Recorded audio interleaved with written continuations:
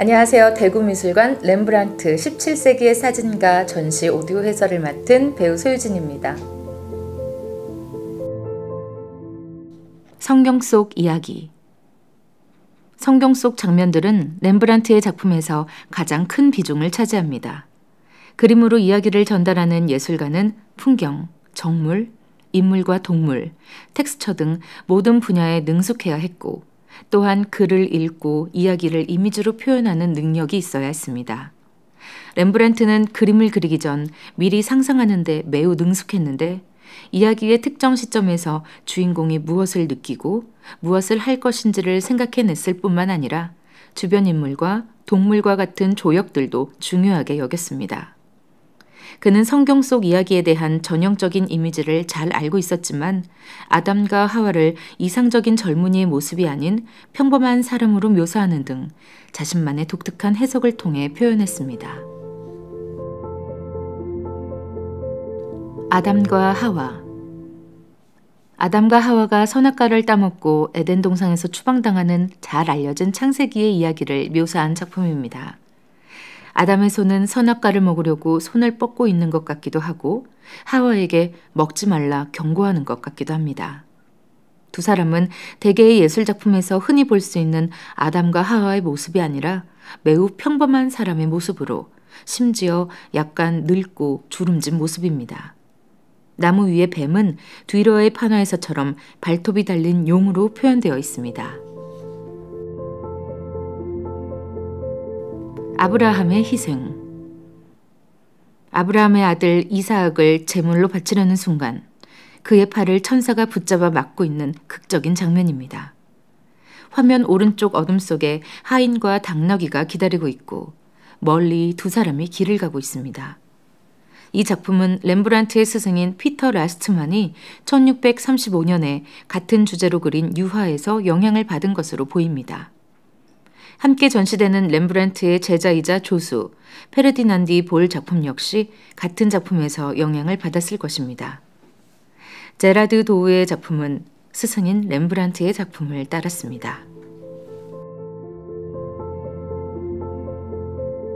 모르도카이의 승리 페르시아의 왕 크세르 크세스는 고문인 하만에게 임금이 치하할 만한 사람에게 무엇을 베풀면 좋을지를 묻습니다.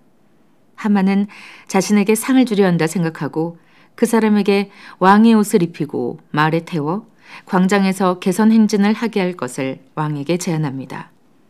그러나 왕이 염두에 둔 사람은 유대인 모르도카이였습니다.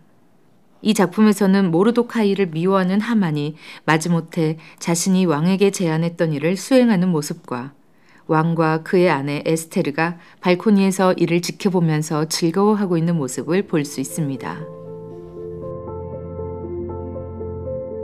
이집트로의 피신 이집트로의 피신은 렘브란트가 좋아하는 주제 중 하나였으며 여러 차례 다룬 소재입니다. 렘브란트의 판화 중 무척 독특한 작품으로 그가 존경하는 작가 헤르클레스 세헤르스의 판화 토비아와 천사의 동판을 재사용했습니다.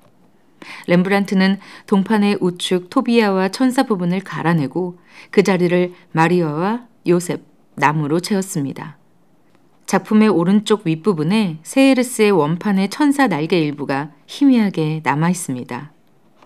세헤르스의 판화는 함께 전시하고 있는 네덜란드 화가 핸드릭 호우트의 작품을 따른 것인데 렘브란트 역시 호우트의 영향을 받았습니다.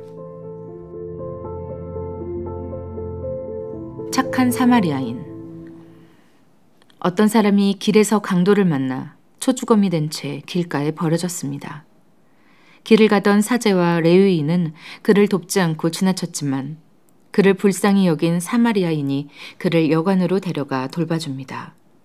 렘브란트는 사마리아인이 여관에 도착하는 성경 속 장면을 묘사하면서 배변하는 개를 그려넣어 놀라운 현실감과 디테일을 더했습니다. 함께 전시 중인 네덜란드 작가 얀 반데 벨데 2세의 여관 주인에게 돈을 주는 착한 사마리아인을 참고한 것으로 보입니다. 프랑스 작가 루이 비네는 개를 포함한 몇 가지 세부 요소를 제외하고는 렘브란트의 작품을 거의 그대로 따랐고 역시 프랑스 작가인 샤를 에라르는 세부 요소들을 포함해 렘브란트의 작품을 매우 충실히 모사했습니다.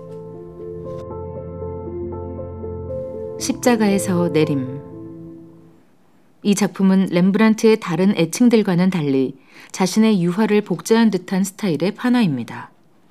십자가에서 내려지고 있는 예수와 슬퍼하는 사람들 뒤로 예루살렘의 성벽이 보입니다.